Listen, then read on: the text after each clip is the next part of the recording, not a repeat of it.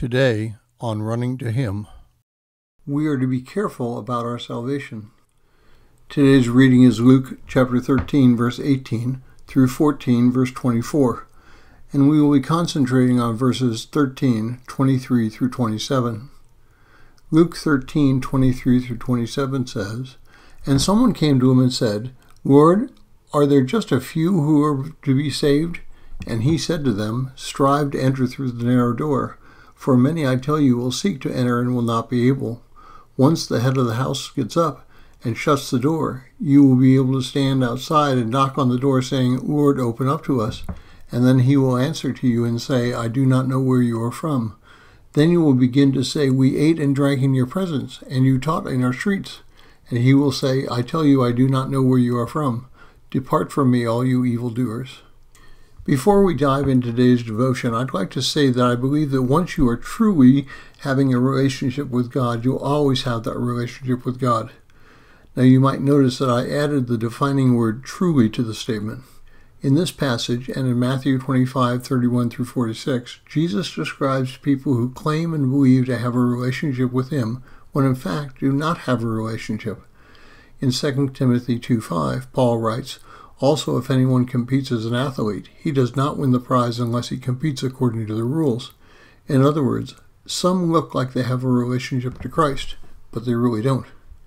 So, how do we know that we have a relationship with Christ if we don't have a notarized copy of a letter saying we're in good standing with Him? And this is a question that's haunted Christians from the beginning. We can use an argument from Scripture. Three key passages are John 1 12, 13, and 14, where John writes, But as many as received him, to them he gave the right to become children of God, even to those who believe in his name, who were born not of blood, nor the will of the flesh, nor the will of man, but God. The second is 1 John 5:13, which says, "These things I have written to you who believe in the name of the Son of God, so that you may know that you have eternal life." And the third is 1 John 2, 3 through 6.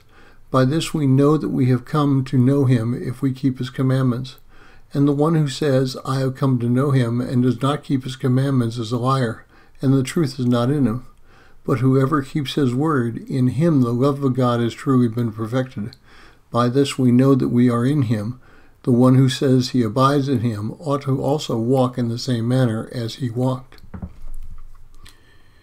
Now, notice that the first two passages from the Gospel of John and the letter of 1 John only discuss belief. The third passage, which is also from 1 John, says the responsibility for believers is to keep his commandments, to do the work he has set for us to do. Thus, salvation is based on belief, but guided by following him.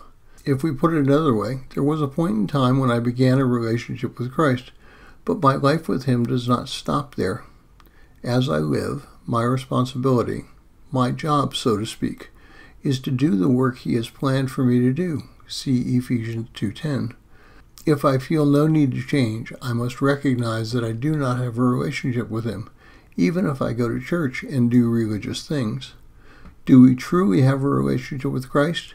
Does that relationship show in our lives? Thank you for listening. We pray that today's devotion was meaningful to you. We would love to hear from you. You can use either Facebook or YouTube to like, subscribe, share, and tell others about us. If you would like to contact us, you can reach me at Phineas Jacobus at runningtohim.net.